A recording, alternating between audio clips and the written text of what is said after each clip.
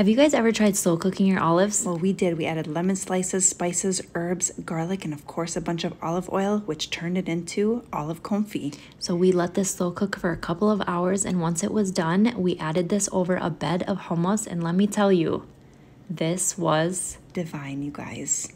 best appetizer of the year. Yes, make sure to follow us for more recipes. Yes.